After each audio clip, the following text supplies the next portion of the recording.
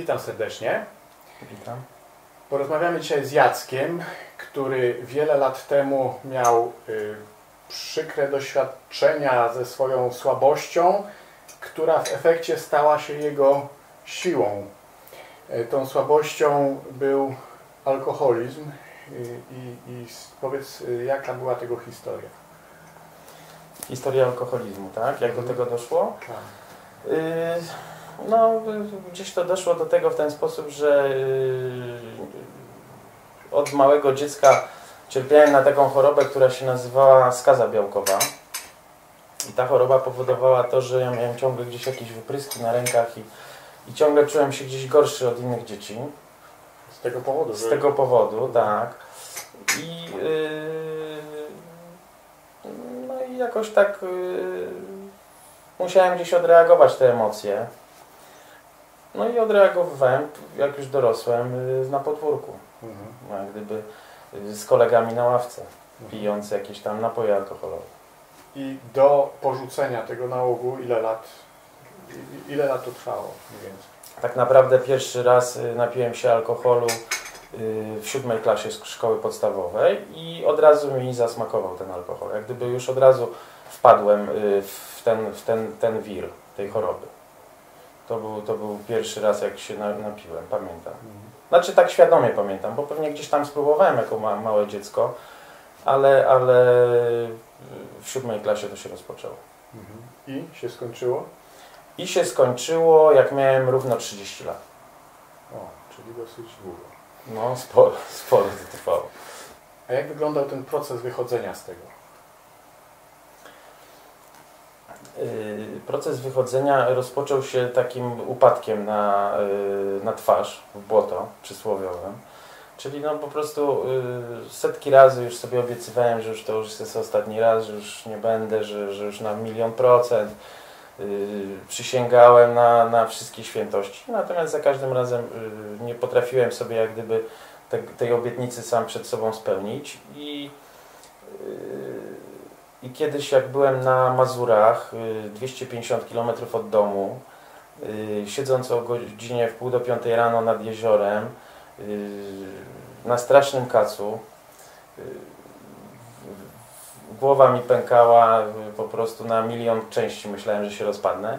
I tam podszedł do mnie człowiek, który mówił, że, który mi powiedział, że mnie obserwuje od jakiegoś czasu, w ogóle nas jako grupę y, tych ludzi, którzy tam byli. I, I że on to samo przeszedł kiedyś. Nie, pi, nie pije już wtedy, to było, nie wiem, chyba 15 czy 16 lat on nie pił. No i zaczął mi opowiadać o tej całej chorobie, na czym to polega i, i jak to będzie dalej. Tak naprawdę opowiadając mi o sobie, opowiedział mi o mnie. Mhm. Czyli wszystko to, co on mówił o sobie, ja y, widziałem, że on opowiada o mnie. I co się okazało? Na- Jak gdyby wtedy się zaczęły już cuda dziać, bo y, okazało się, że ten człowiek mieszka tutaj obok mnie 500 metrów, że to jest mój w ogóle sąsiad, ale on, wcześniej się tutaj w ogóle nie widzieliśmy i on mnie nie kojarzył, że ja jestem stąd. I spotkaliśmy się tam, no i on mnie zaczął wprowadzać po, powolutku, jak gdyby w te tajniki tego, tego zdrowienia. Oczywiście ja nie od razu zacząłem się go słuchać i, i robić tak, jak on mówi, ale już gdzieś tam te ziarenko zasiał. No i później y, minęło jeszcze trochę czasu, jeszcze tam się parę razy y, dotknąłem dna, w sensie, że no, y, no, się upiłem i nawet y, kilka razy się po prostu swoje potrzeby fizjologiczne załatwiłem w spodnie. No i stwierdziłem, że to już musi być koniec, nie? Już, że albo w prawo, albo w lewo. Nie? Mając żonę, dzieci, jakoś gdzieś mi się te światełko zapaliło i, i się otrząsnąłem, ale nie poszedłem się nigdzie leczyć, tak jak on mi sugerował, tylko po prostu przestałem pić w, na tak zwane, w tak zwane zaparte. Czyli nie robiąc nic ze sobą, przestałem pić. Tak na siłę? Na siłę, tak. Mhm. Ale dalej spotykałem się z kolegami, dalej woziłem ich do sklepu po alkohol, rozwoziłem ich po imprezach, także no, w zasadzie Styl życia się nie zmienia. styl życia się nie zmienił, natomiast tylko nie miałem w sobie substancji. Yy, No i oczywiście cały świat mi się nie podobał, wszystko było, wszystko było złe, wszyscy byli dziwni i głupi.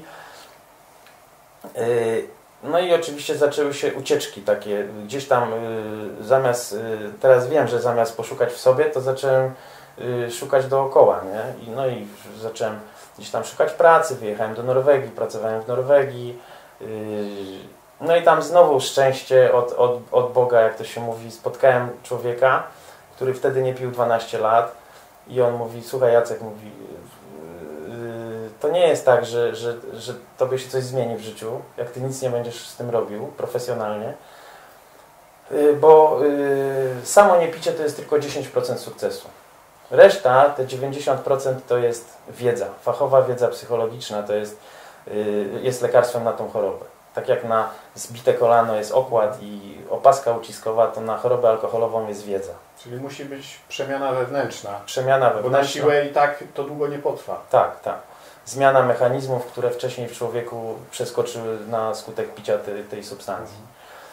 I ja wtedy y, miałem już legalną pracę, którą kilka dni wcześniej sobie załatwiłem, na którą bardzo długo czekałem, ale mówię tak, no kurczę, chyba dobrze mówi ten człowiek. I mówię, y, nic, y, rezygnuję z tych pieniędzy dobrych.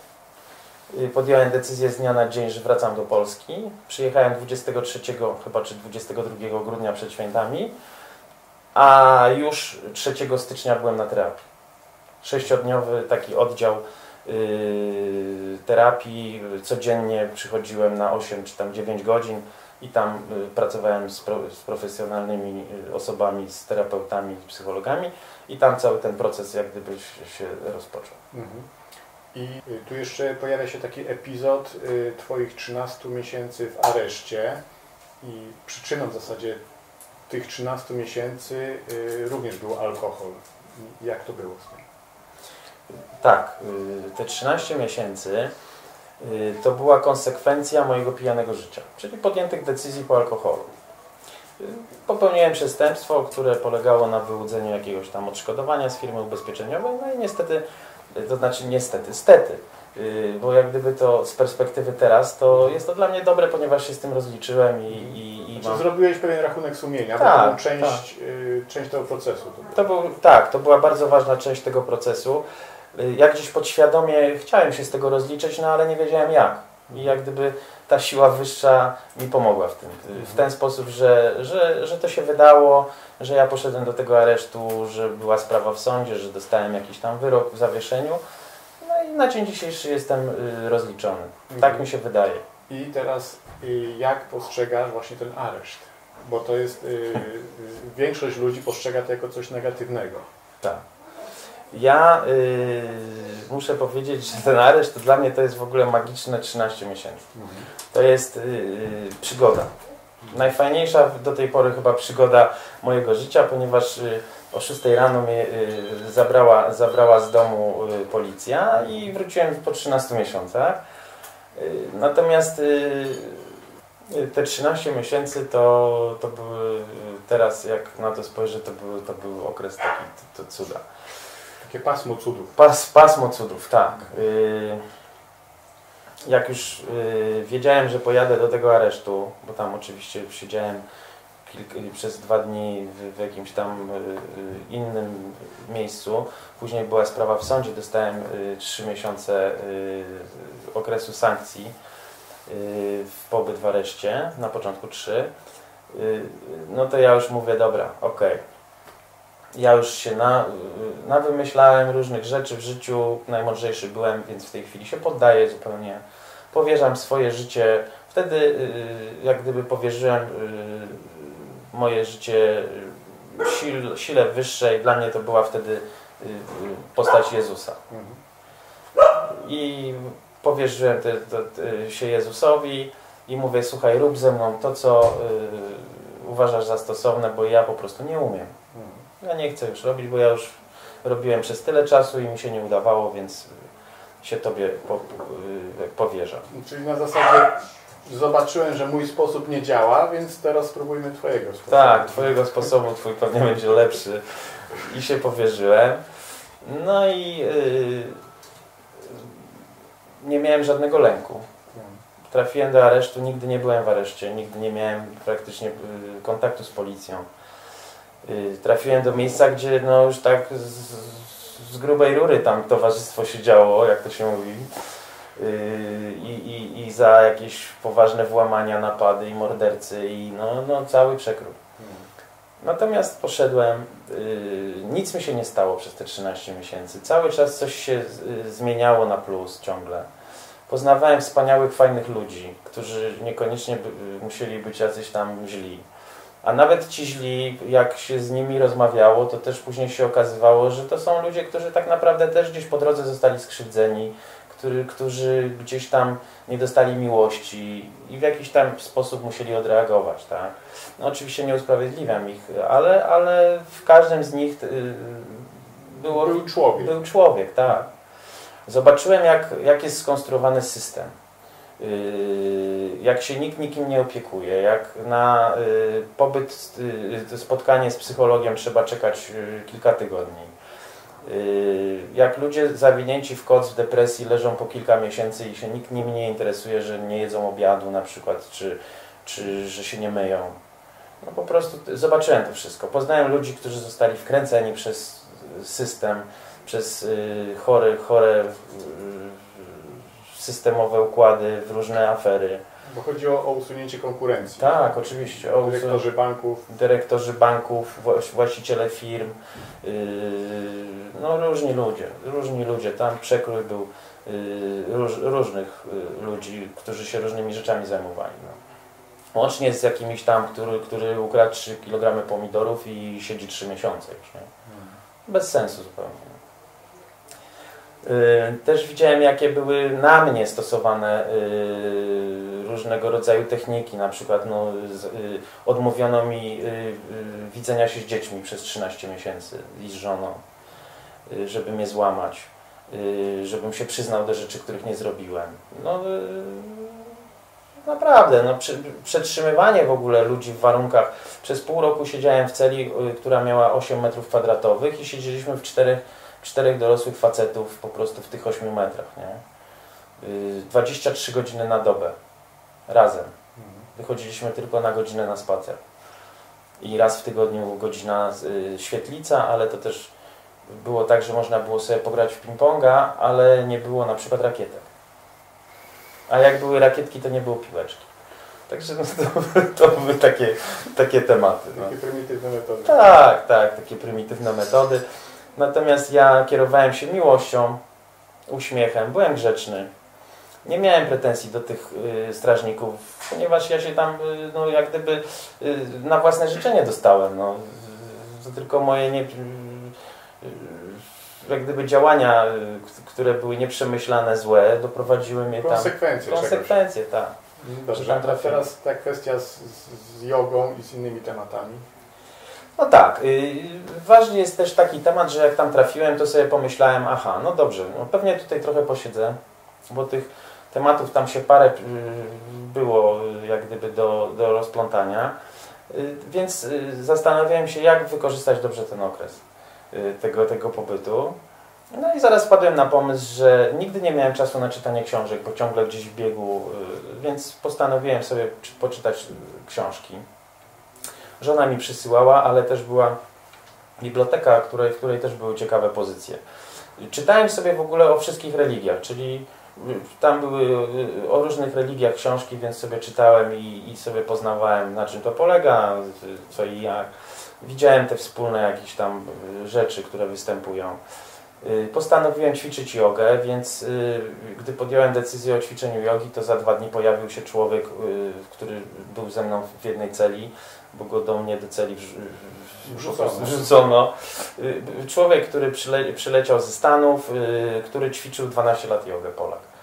No i miałem wspaniałego nauczyciela jogi, który mi pokazywał, y, nauczył mnie stania na głowie i różnych innych rzeczy. Jego też zresztą wrobiono. jego też wrobiono, tak, jego też wrobiono i, i no to już długa historia, ale generalnie system działa tak, że, że nawet i osoby z jego rodziny, które pracowały w innych częściach świata, y, w jakichś organizacjach humanitarnych, przez to, że jego wrobiono, to też potraciły pracę na przykład po drugiej stronie świata. Nie? No ale to, to takie tematy. Yy, No i on mnie też, ten człowiek, yy, zaczął nakierunkowywać na różne rzeczy, o których w ogóle nie miałem pojęcia, czyli o energiach, o energetyzowaniu wody, na przykład po co brać tabletkę od ból głowy, jak wystarczy sobie naenergetyzować szklankę wody i się jej napić z intencją i woda, woda powodowała to, że przechodzi ból. No i różne inne rzeczy. No, na przykład y, wtedy pierwszy raz y, doświadczyłem czegoś takiego jak chodzenie po y spacerze, na spacerze przez 20 minut przy 20-stopniowym mrozie bez koszulki. Po prostu do pasa byłem rozebrany i on mi y, mówił, y, że, że mi nie jest zimno, że jest wszystko ok. Do tego stopnia, że nawet strażnicy z tych wież, wieżyczek krzyczeli, żebyśmy się ubrali, bo zachorujemy. No, a nam nie było, nie było zimno, bo sobie chodziliśmy, no tam doszliśmy. No. Także no takie ciekawe rzeczy. Później y, kolejna, kolejny temat to chciałem się nauczyć medytować. Więc pojawił się na kolejny człowiek na mojej drodze, Amerykanin, y, żołnierz Marines, który tutaj był w Polsce już jakiś czas te, y, mieszkał, też został wrobiony w jakąś tam aferę, ponieważ chciał się dostać do swojego własnego mieszkania, stwierdzono, że on się włamał, bo tam były rzeczy jakieś tam dziewczyny, która u niego mieszkała, no nie to jakaś tam historia strasznie skomplikowana, natomiast człowiek mnie nauczył medytować, ponieważ był na wojnie w Somalii i tam miał do wyboru albo brać narkotyki, pić alkohol, albo po prostu coś ze sobą zrobić, więc y, poznał jakiegoś szamana, y, a że był ciemnoskóry, nie wiem, y, może znał język, dogadał się z nim, i on go nauczył medytować, więc mi to przekazał. Także to też ciekawe doświadczenie. No. I ten wychowawca? A w ogóle to tak, tak. Na 20 wychowawców, którzy tam się opiekowali, pseudo opiekowali, bo tak naprawdę to się opiekował tylko ten jeden, do którego akurat ja trafiłem. Mhm. To był człowiek, który naprawdę miał serce i on chciał pomóc. Yy, no, trafiłem na takiego, który wiedział, no, wiedział co to, co, yy, co, yy, na czym polega w ogóle problem alkoholowy, na czym polega problem DDA, czyli DDA to jest dorosłe dziecko alkoholika, czyli że dzieciaki, które tam, dzieciaki, no, po 19-18 lat, którzy tam siedzą, dlaczego oni te przestępstwa zrobili? No bo to się wzięło z domu, bo coś tam, bo tata kazał ukraść, nauczył, a jak ten chłopiec nie ukradł, to go bił na przykład, nie? Plus jeszcze te wszystkie y, kwestie energetyczne, karmiczne. Tak, on to wszystko wiedział i, i on po prostu mnie też dopingował w tym, żebym ja y, sobie y, się rozwijał i oprócz tego też później nawet jeżeli miał problemy z jakimś tam swoim podopiecznym, to nawet robił tak, że ten podopieczny do mnie trafiał na chwilę do Y, jak to się mówi, pod cele i żeśmy sobie rozmawiali w czasie spaceru, żeby, żeby on zrozumiał o co chodzi nie? w tej mhm. chorobie alkoholowej i, w, i jako dziecko, y, które, które jest z tej rodziny, ponieważ pan psycholog nie miał pojęcia o tym. I tam jeszcze była y, pani, która pomogła Ci w tym ostatnim posiedzeniu sądu. Tak, tak, no była pani, która która... Y, terapeutka, tak? Terapeutka, tak, która mi pomogła y, energetycznie na, na, na sprawie sądowej i spowodowała jak gdyby no, tą pozytywną energią, że, y, że ten wynik był korzystny dla mnie. Mhm. No dobrze. To ja w to wierzę. Powiedz energetycznie, co, co zdziałała? No Zdziałała... to były takie jakby szamańskie czary-mary. Szamańskie czary-mary polegały na tym, że pan prokurator został no nie miał, nie miał siły na, na nic. po prostu. Yy, nawet nie potrafił przeczytać aktu oskarżenia mojego. Dobrze, a ta Twoja transformacja po wyjściu? Y, po wyjściu, yy, po wyjściu poszedłem z powrotem dokończyć terapię, bo ja jak gdyby rozpocząłem... Tak, przerwałeś. Przerwałem, tam mi nie za bardzo mogli pomóc, ponieważ nie, nie, nie łapałem się na żaden program, bo bo byłem w areszcie, nie byłem już y, jeszcze y, y, osądzony i, i nie można było w stosunku mnie nic zrobić. Mhm. Pisałem prośby, żeby iść do pracy, żeby coś porobić, żeby, się, żeby nie siedzieć po prostu, ale to nie było możliwości. Po wyjściu dokończyłem terapię, no i stwierdziłem, że chciałbym pomagać ludziom, takim jak ja, no, bezpośrednio samym alkoholikom, ale też i rodzinom alkoholików. Skupiłem się na, na, na osobach DDA, czyli dzieciach alkoholików, dorosłe dzieci DDA, no i też na, na żonach alkoholików.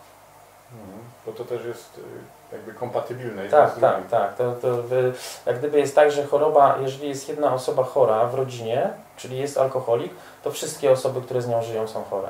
Także y, do tego stopnia nawet, że te osoby mają te same objawy.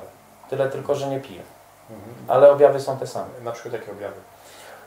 Y, No na przykład y, góry dołu, czyli nie można złapać tego... Wahania emocjonalne. Tak, wahania emocjonalne.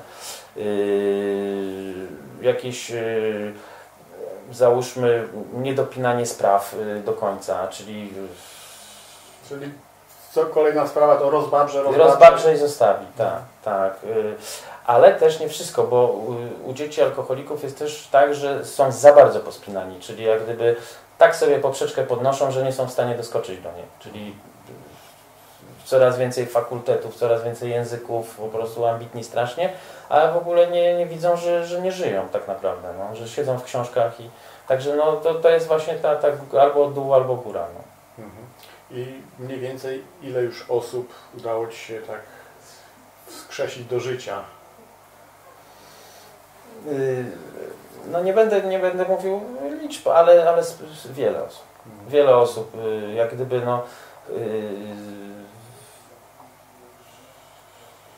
cały czas yy, na mojej drodze właśnie takie osoby się pojawiają. Ja dużo z ludźmi pracuję, bo y, zajmuję się stolarstwem i wykończeniem wnętrz, więc jeżdżę do ludzi do domu, czasami widzę pewne rzeczy, zaczynam rozmawiać, jak gdyby... y, y, Ja mam y, jakąś taką cechę, y, która y, powoduje to, że trafiam do ludzi, jak gdyby... Do tych, do których powinieneś trafić. Tak, tak. Przede wszystkim chyba to polega na tym, że ja zaczynam opowiadać o sobie, nikogo nie oceniam i jak gdyby to, co opowiadam, to oni jak gdyby widzą to u siebie, nie? I zaczynamy ze sobą y, wtedy fajnie się dogadywać. No pięknie, że się tak to harmonijnie układa. I myślę, że nasza rozmowa pomoże komuś coś zrozumieć. Komuś, kto y, też jest w tej bajce, Tak. Jeszcze taka ważna rzecz, y, którą zauważyłem, że y, jak gdyby świat jest tak skonstruowany, że żeby dostać się do, y, żeby mieć władzę nad ludźmi, ja to zrozumiałem, żeby mieć władzę nad ludźmi, trzeba się dostać do, do dwóch rzeczy. Do, y, do myśli naszych i do naszych emocji. Żeby się dostać do Znaczy naszych mówisz w sensie władzy nad ludźmi, w sensie y, Systemu. systemu, który manipuluje ludźmi. który manipuluje, tak. Mhm. I żeby się dostać do naszych myśli, skonstruowano prasę, radio, telewizję, że tam jest 90% albo 95% negatywnych informacji, żeby nas dołować. Natomiast, żeby się dostać do naszych emocji, wymyślono y, używki, które po prostu powodują to, że człowiek staje się zwierzęciem po, w pewnym czasie. Nie? Że jak gdyby alkohol czy narkotyki powodują to, że się y, nie, y, nie kierujemy emocjami w ogóle. Odcina nam ten płat czołowy mózgu, który nas różni od zwierząt i zaczynamy, y, stajemy się zwierzęciami, zwierzętami. Funkcjonuje tylko ta część mózgu, która dotyczy no, utrzymania ciała i, Tak. i, i utrzymania strachu w sobie. Nie ma współodczuwania, nie ma empatii w ogóle.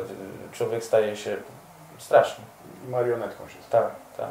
No i, no i niestety nikomu nie zależy tak naprawdę na tym, żebyśmy my byli zdrowi. Dlatego jest tych sklepów pełno na, na każdym kroku. Y, Udają, że, mówię o, o systemie, o państwie, udają, że chcą coś z tym zrobić, że walczą z narkotykami, z tym tamtym, no ale tak naprawdę to jest zupełnie odwrotnie. Zupełnie odwrotnie. Zupełnie odwrotnie. Dziękuję bardzo. ja też dziękuję. Dziękuję.